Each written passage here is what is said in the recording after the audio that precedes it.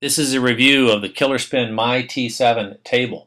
This table is 225 pounds in weight, very high quality, very heavy duty. The top is made of MDF, which is medium density fiberboard. It's 7 eighths of an inch thick, very thick. The frame is made of steel. That's an inch and a half steel tubing right there. And then you'll see there are levelers on each of the legs. Um, here I'm showing the wheels. They're 3 inches in diameter. Each of them locks independently, and they're driven on ball bearings. So they move very easily and uh, move around very quickly. You can see the installation couldn't be easier. You slide the steel legs uh, in like this. You put in four bolts. You just screw them in. Tools are included. It literally is out of the box and to the point where you can start playing in 15 minutes. It couldn't be any faster than this. Very, very quick and easy.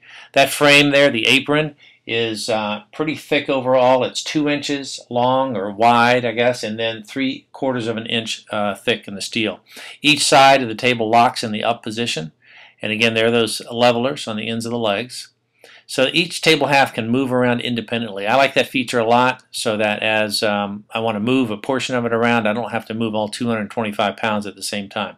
That's the apron right there that's two inches thick. Here we're moving one half of the table in to the other half and they fold up independently like I said. The net itself is very high quality. The frame is a steel frame. Everything about this table exudes quality. It's a great table for uh, recreational use as well as professional use. You'll see this table sometimes in uh, tournaments, but just high quality overall. The coating on top is not a laminate. It's actually a 16 layer coating called a repeat roller coating. It's great for a consistent bounce and, and allows you to put spin on the ball. Again, steel net, um, just a great overall table. I don't think you can uh, can go wrong with this table.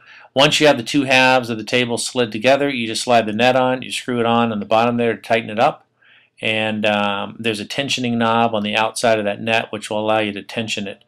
But overall, beautiful table. You can't go wrong with it. Killerspin, rocks. Just love this stuff.